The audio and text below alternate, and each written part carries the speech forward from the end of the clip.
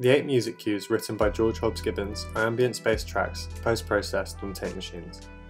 Due to the irregular temporal characteristics of each piece, I decided to implement a horizontal structure to the interactive music, in which different cues shift between each other based on the narrative moment of gameplay.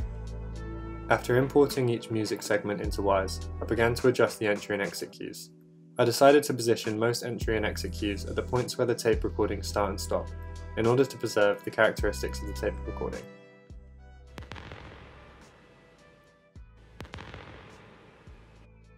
I then sorted each segment into one of three playlist containers, Explore, Fight and Menu, as these three playlists categorize the three main states of gameplay.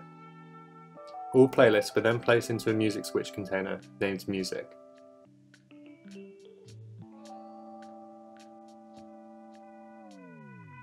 In the GameSyncs tab, I created states for each playlist under a single state group.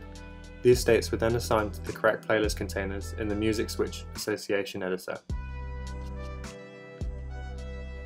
In the Transition tab of the Music Switch container, I created the conditions for each playlist transition possibility. The rules define when and how each playlist can transition into the next, generating many possibilities for how music cues drive narrative, for instance, the Explore music transitions quickly into a random cue within the middle of a fight music segment when an enemy approaches. However, the fight music gradually fades to silence after the enemy is dead, before starting a random Explore segment from the start.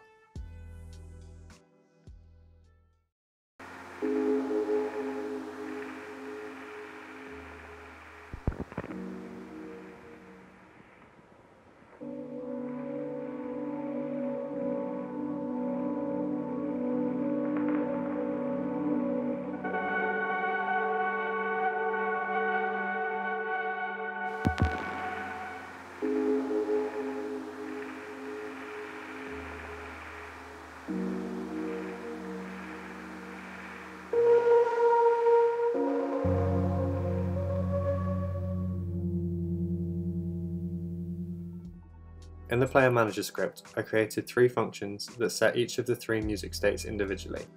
The menu music is called when the game menu is opened and in the main menu scene. The fight music function is called whenever an enemy locates the player and starts to chase. This happens when the player is within a look radius from the enemy. The explore music function is triggered when the player is safe from enemies and roaming the map. In order to stop states from being recalled, when they are currently active, I created a set of boolean conditions that stop retriggering.